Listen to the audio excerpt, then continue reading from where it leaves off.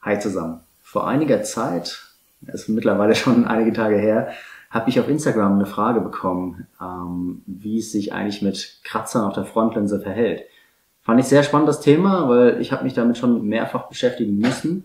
Das geht nämlich schneller, als man denkt.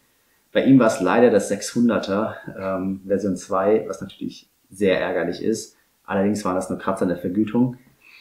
Ich habe hier ein Sigma 20 mm 1.4 und es hat ein paar heftigere Kratzer auf der Frontlinse. Und ich dachte mir, wir gehen einfach mal raus und testen das Ganze, inwiefern diese Kratzer überhaupt sichtbar sind.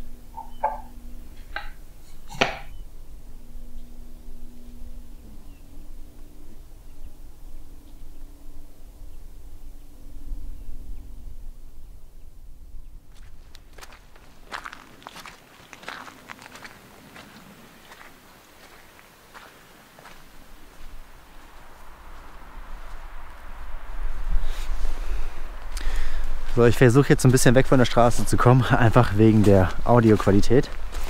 Und ja, der Wald ist nicht besonders schön und alles, was ich jetzt machen werde, ist nicht unbedingt ästhetisch. Es geht vielmehr darum, dass wir einen Eindruck bekommen, dass man eben Kratzer sieht oder eben nicht sieht. Und es geht jetzt nicht um Bildgestaltung oder schöne Bilder. Heute haben wir kein Licht mehr, ähm, deswegen werde ich nachher einfach mit der Taschenlampe ein bisschen was rumprobieren. Jetzt baue ich erstmal mein Stativ auf und wir nehmen einfach den Weg hier vorne als Motiv und gucken mal, blenden ein bisschen ab, schauen bei Offenblende, schauen abgeblendet, einfach so als Praxisbeispiel, ob man da irgendwas sehen kann von diesen Kratzern.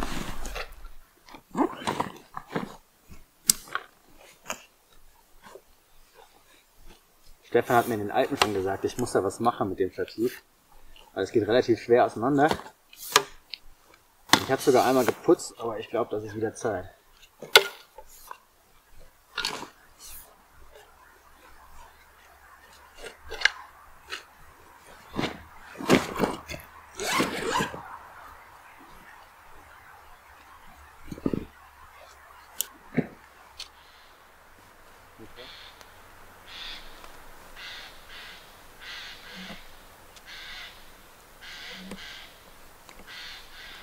Also da ist absolut nichts zu sehen von irgendwelchen Kratzern oder irgendwelchen ja, Artefakten im Bild, die von den Kratzern stammen könnten.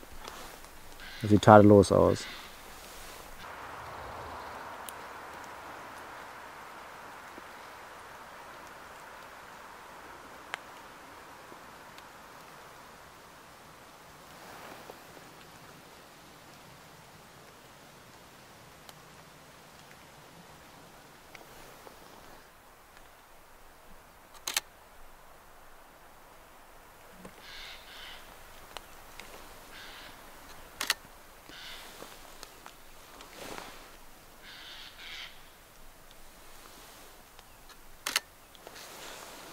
Also was ich jetzt gemacht habe, ist einfach, ich habe quasi eine Sonne ins Bild gesetzt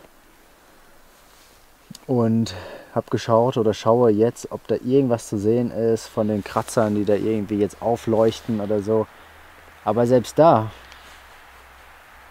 wir haben klar, wir haben Flares, also Sonnenflares im Bild. Aber selbst wenn die Kamera oder wenn die Taschenlampe direkt in die Linse leuchtet, sehe ich nichts von diesen Kratzern. Müssen wir mal schauen, wie sich das dann nochmal unter Extrembedingungen verhält. Also komplett hell oder komplett dunkel. Das testen wir dann zu Hause nochmal. Aber so in der Praxis erkenne ich da jetzt keinen Unterschied zu einem tadellosen Objektiv ohne Kratzern. Ich mache mich jetzt wieder auf den Weg nach Hause. Ähm, da vorne waren noch ein paar Holunder, die mit Moos überwachsen waren. Das sah ganz cool aus. Zeige ich euch gleich nochmal.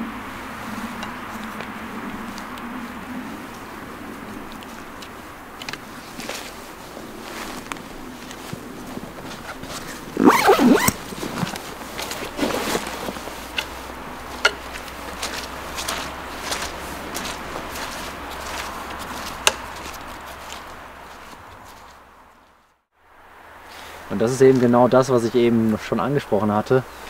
Dieser Holunder schaut eben super cool aus mit dem ganzen Moos. Ganz häufig wachsen da auch diese goldenen Flechten drauf. immer wieder ein schönes Motiv. Ähm, Holunder hatte ich euch auch schon in dem einen Video über den tierfreundlichen Garten gezeigt.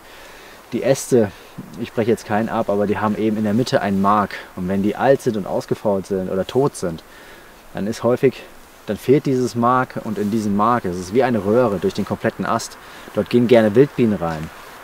Und auch ein tolles Fotomotiv, gerade mit dem Moos hier und diesen Wassertropfen, die dann teilweise runterhängen. Also draußen konnte ich jetzt absolut nichts feststellen, dass da irgendwie diese Kratzer einen Einfluss haben. Deswegen gehen wir jetzt nochmal eine Nummer extremer ran. Und ich nehme mein Handy. Wo habe ich es denn hin? Ach ja, hier. Es liegt direkt vor mir. Äh, ich nehme mein Handy und nehme die Taschenlampe und leuchte hier mal wirklich äh, auf die Frontlinse drauf, sodass wir direktes Streiflicht haben. Und dann schauen wir mal, ob das Auswirkungen hat, ob dann die Kratzer sichtbar werden. Also um einfach eine extrem starke Streiflichtsituation nachzustellen. Und wenn ich die Kamera so ein bisschen schwenke, dann sehen wir Lensflares, die natürlich sind. Also das liegt jetzt nicht an den Kratzern, die kommen einfach vor. Ähm, die bewegen sich, die Lensflares. Also das stammt nicht von den Kratzern, aber es tauchen ab und zu Flares auf, die werden ein bisschen heller und dunkler, bleiben aber immer auf derselben Stelle. Und das entsteht eben durch die Kratzer. Aber der Effekt ist in meinen Augen marginal, fast schon vernachlässigbar.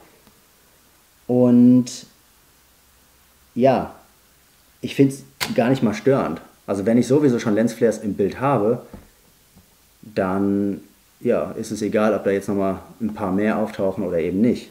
Jetzt ist der Akku von der Kamera leer, deswegen ist der Live hier ausgegangen.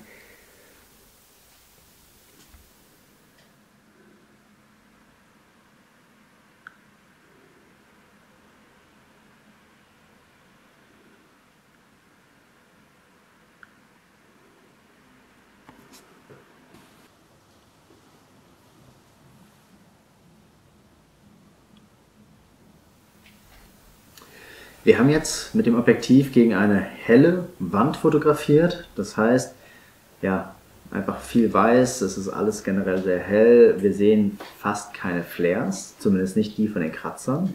Wir sehen diese grün-roten Flares, Sonnensterne, Sonnenflares von der Taschenlampe, ähm, aber die Kratzer leuchten nur ganz, ganz wenig auf. Wechseln wir jetzt zu einem dunklen Hintergrund, dann ist die Sache ganz anders. Also da sehen wir schon ein ja, da sehen die Kratzer sehr, sehr deutlich.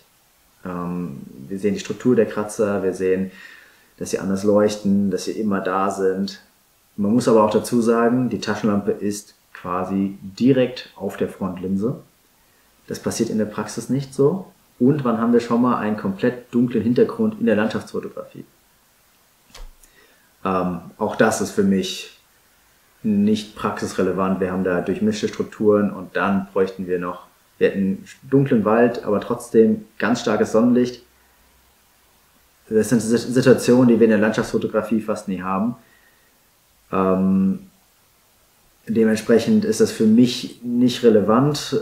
Auch zusätzlich ist das eben ein sehr lichtstarkes Weitwinkelobjektiv, was ich für die Polarlichtfotografie nutze.